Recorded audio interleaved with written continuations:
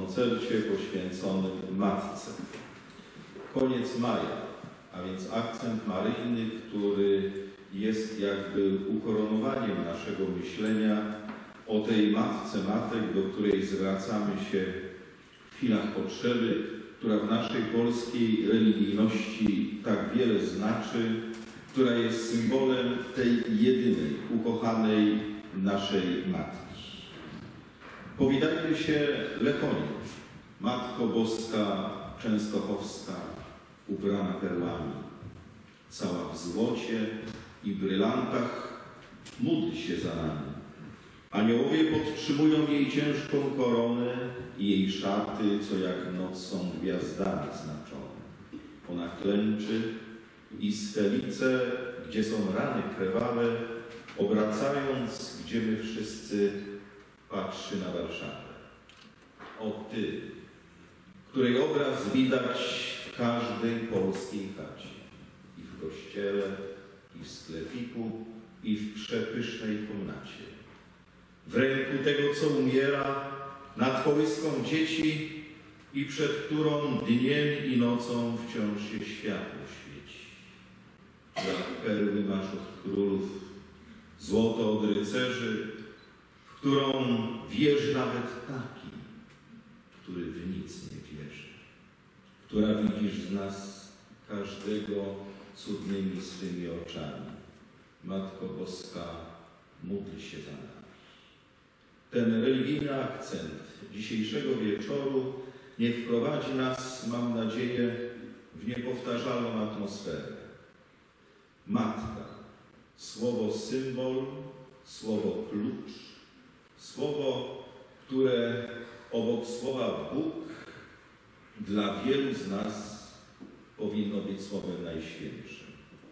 To ona przecież dała nam życie, to dzięki niej jesteśmy, to jej trud, wysiłek i poświęcenie są nie do opisania. Pisali o niej wszyscy, począwszy od wielkich naszych narodowych wieszczów, aż po tych, którzy dzisiaj chcą wyrazić to swoimi słowami, bo w nie wkładają serce. Za dłonie Twoje zmęczone, głaszczące mnie wtedy na dobranoc, za tysiąc przeczytanych bajek dziękuję Ci dziś, mamo. Za każdą utartą łzę, za każde opatrzone kolano, za każdy mój oswojony lęk dziękuję Ci dziś, mamo. Za Twoje życiowe mądrości, za zasady we mnie wpojone, za przestrogi i za zakazy dziękuję Ci dzisiaj, mamo. Za słowa otuchy i wiary, za nadzieję we mnie pokładaną, za Twoją pomocną moc i Twoje serce. Dziękuję Ci, mamo.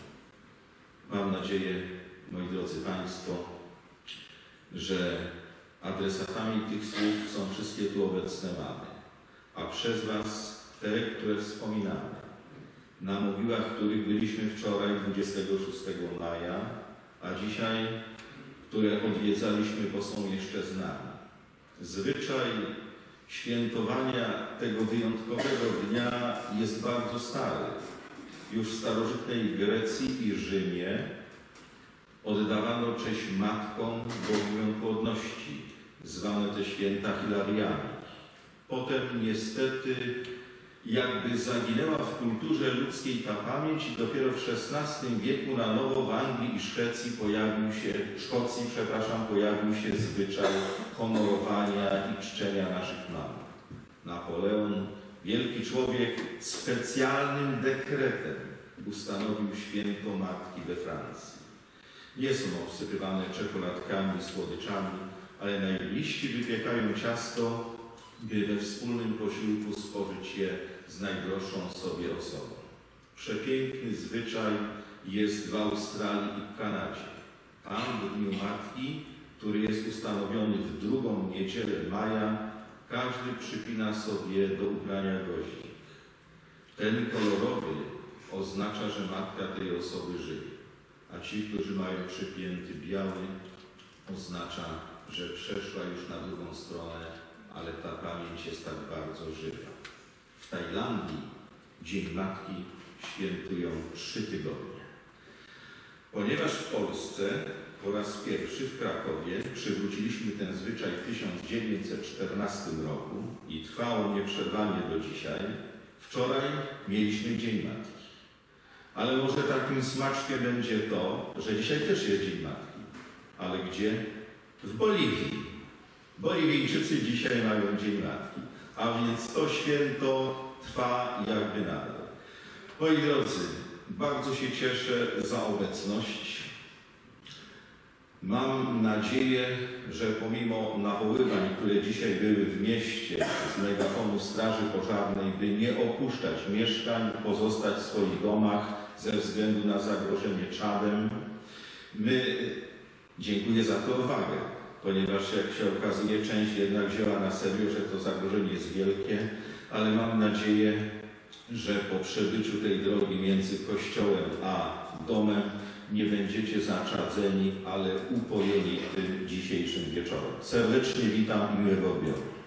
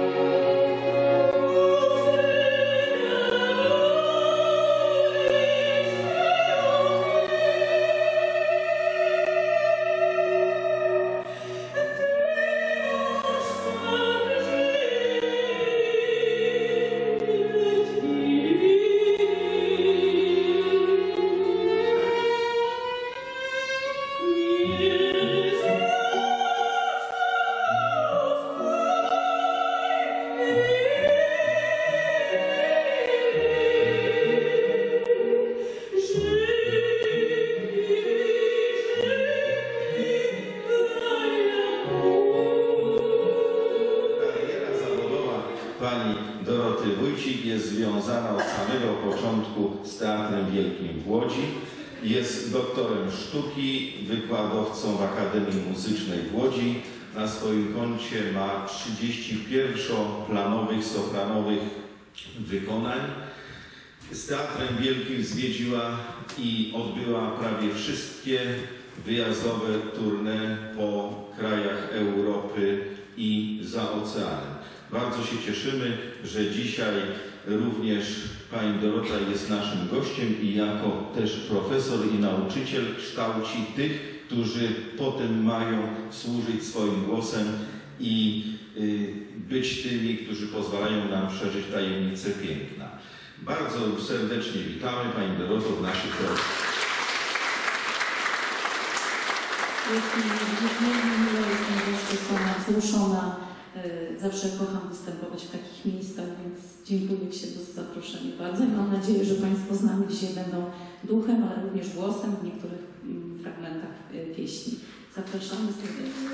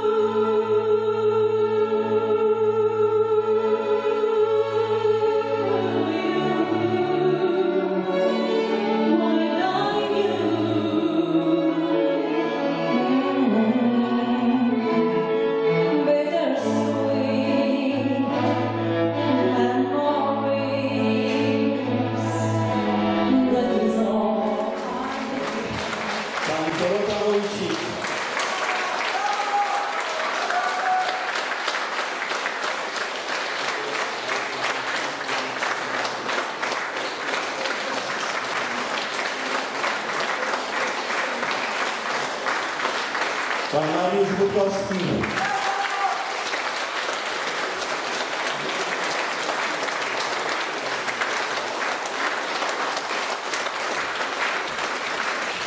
I proszę Państwa, nasz artyści muzyczny, kwartet, opera string kwartet, pierwsze skrzypce pan Mariusz, Marcin Budziarski.